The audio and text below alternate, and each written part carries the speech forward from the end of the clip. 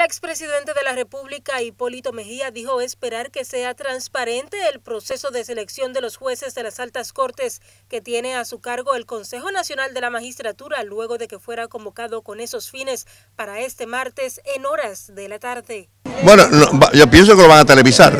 En, este, en ese sentido debe ser transparente. Lo demás no, no conozco los detalles con el Frente de Abogados de todo el país afiliados al Partido Revolucionario Moderno, Mejía se comprometió a respetar ese sector de la sociedad, así como a trabajar para cambiar el destino de la justicia dominicana. Pueden sentarse y poner en blanco y negro los pasos que hay que dar para cambiar el destino de la justicia dominicana.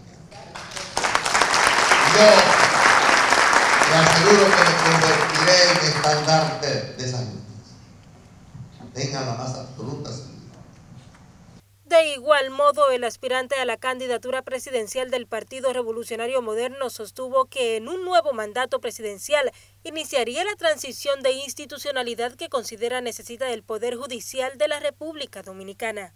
El que hace campaña y la justicia que se encarga de ejecutar como debe ser y poner esta cosa en orden. Yo estoy decidido a participar.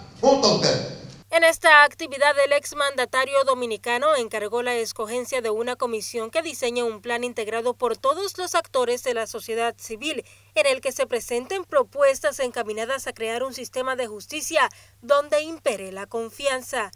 Para Proceso, Escarelet Guichardo.